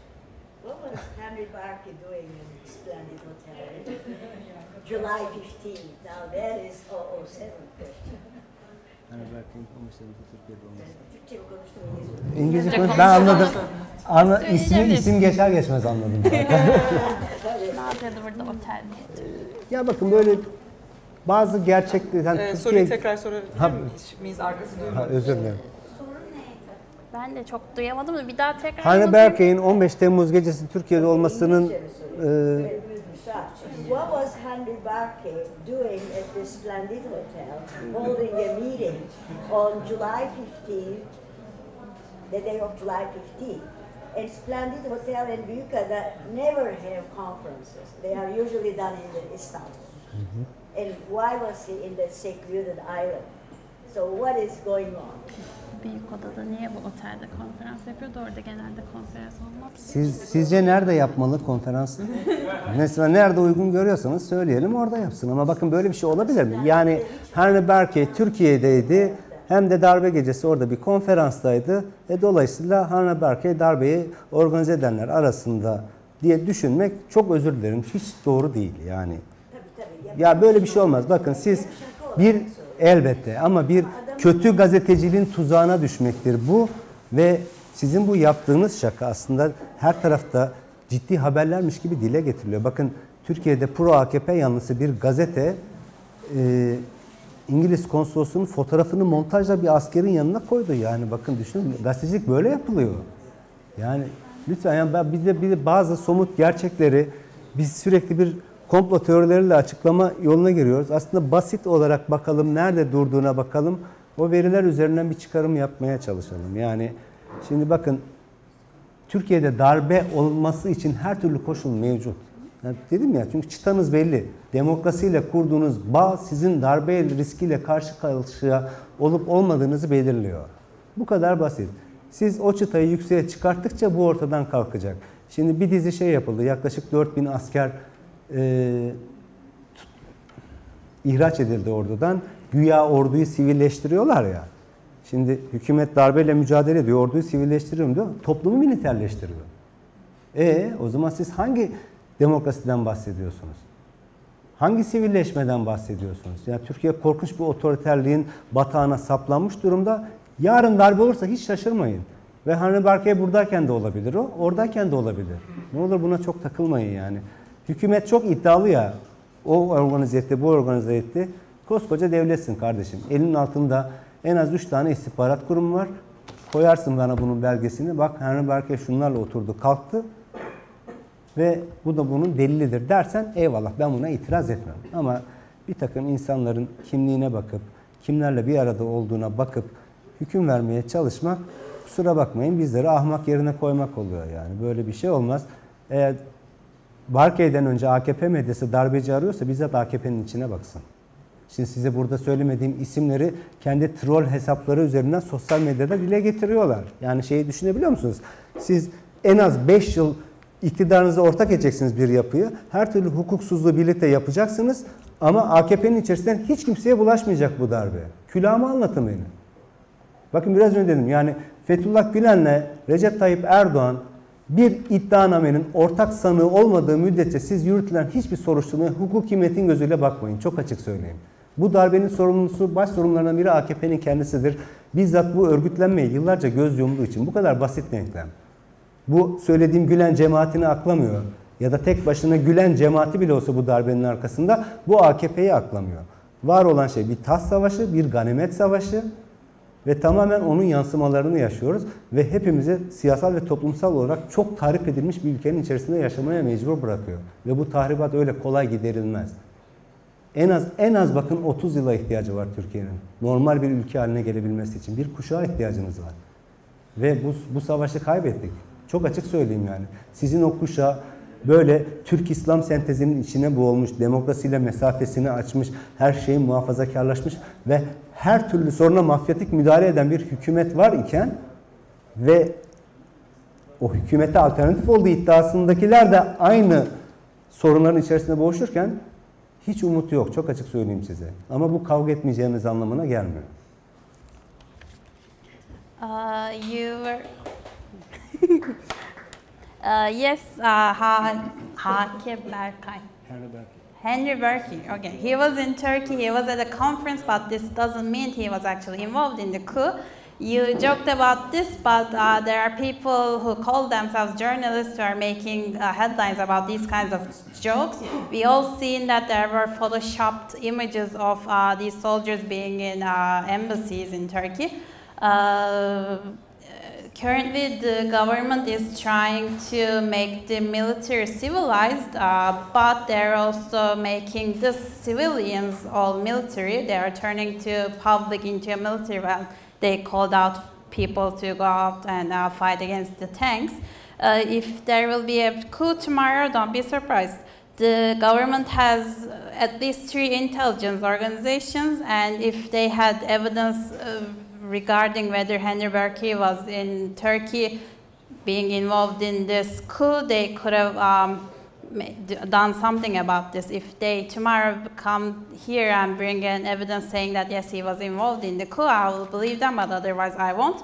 Uh, we see that there are all these men, uh, names being mentioned that I didn't actually mention myself, and uh, when you go check out on the social media, there are um, pro AKP troll list accounts who are uh, bringing forward these men, uh, these names.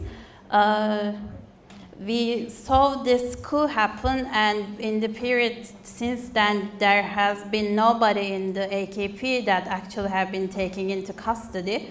Uh, what we are currently seeing is that there is a Game of Thrones, like the show, uh, going on in play, and it's impacting all of us. Turkey, to become a normal country again, needs at least 30 years, a new whole generation. Uh, when we have such a government when we have the current government in place, we actually lost our chance to do this. Bir ekleme yapacağım.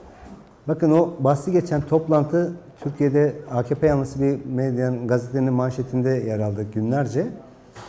O toplantıya katılan isimlerden biri için şu yazıldı. İşte Google'a yazmışlar, bakın gazetecilik böyle yapılıyor. Google'a yazıyorlar işte Ahmet Şık. Amerika'da bir cezaevinde cinayet hükümlüsü olarak yatıyor. Önüne çıkan şey bu. Haber aynen şöyle. Cinayet hükümlüsü olarak cezaevinde olmasına rağmen darbe girişiminin konuşulduğu toplantıya katıldı. Bakın bu manşetten yayınlandı. Bunun ne olduğunu anlatan, yazı yazan kişi bakın şurada oturuyor işte. Yani Amir'in zaman. Bir utanç dahi yok. Anlatamam. Yani üretilmiş belgelerin üzerine çay döküp işte Atatürk'ün, e, İsmet İnönü'nün Atatürk'ü zehirlemesini anlatıyoruz diyor. Yani saçma sapan şeyler yapılıyor ve lütfen bakın siz medyanın anlattığı hiçbir şeye inanmayın. Çok samimiyetle söylüyorum. Tamam mı? Ya gerçekten e, Türkiye medyasındakine göre daha güvenilir bulabilirsiniz. Tırnak içinde söylüyorum. Ama niye öyle değil mi? Akıl sağlığınızı korumanın yolu buradan geçiyor. İnanmayın Türkiye medyasına. Muhaliflerine de bakın Türkiye'de gazetecilik AKP medyası ne kadar kötüyse muhalifleri de bir o kadar kötü. Hiç kuşkunuz olmasın. Yani sığ bir AKP karşıtlığı, sığ bir Erdoğan düşmanlığı üzerinden yaptığınız gazeteciliğin adı gazetecilik olmuyor. Kusura bakmayın. Hakikati tarif etmek oluyor.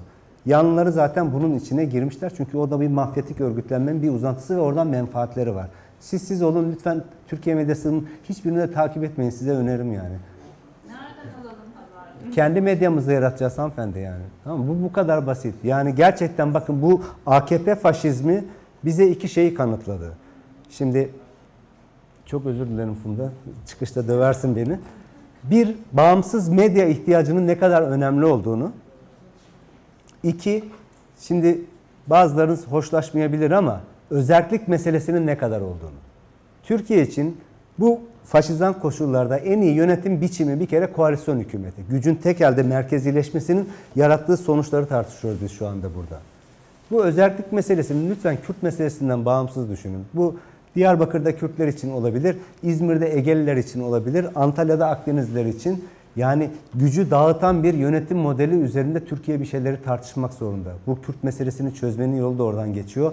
Savaşın sona ermesinin de Türkiye'nin demokratik demokratikleşmesinin yolunu açacak şey de oradan geçiyor. Gücü dağıttığınız noktada inanın biz daha güçlü kalacağız. Kendimizi güçlü kılacağız. Bu kadar basit ve bunu tartışmak gerektiğine inanıyorum.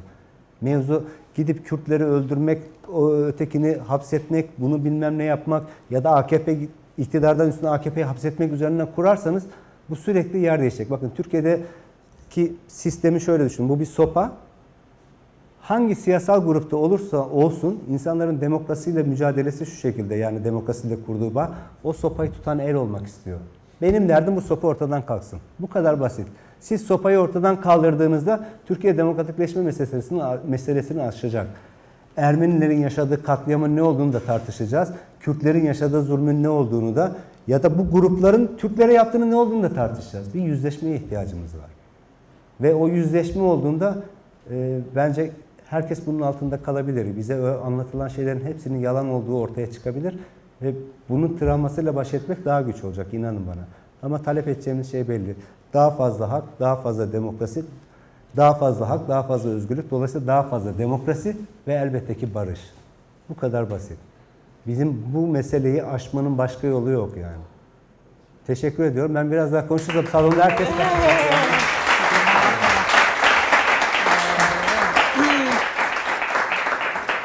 Uh, Pro AKP media made headlines about this conference for weeks. Uh, what they do is that they basically Google a name and come up with results and make up their own facts about this.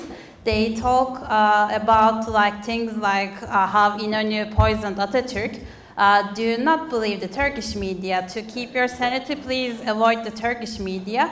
Uh, what they're doing is not journalism if they're on the side of um, AKP and be, or being against them. Uh, we are going to create our own media. This AKP fascism we currently have actually proved two things that we need an independent media and we need our independ uh, we need independence.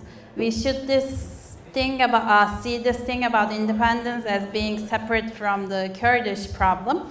We need to actually sit down and discuss these things and see that if we actually decentralize power, we will be more powerful.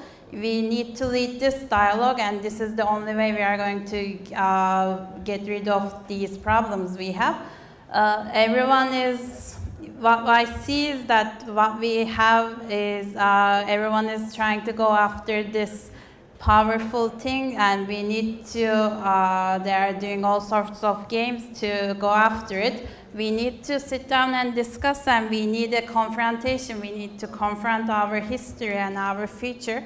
We see, uh, and once we do this confrontation, we can actually see that what we might see that what we have been told for all these years might have actually been lines what we need is that we, we need more independence, more democracy, and we will, uh, as a result, have peace. Çok çok çok teşekkürler. Ben de size çok teşekkür ediyorum. Sabrın için sana özellikle.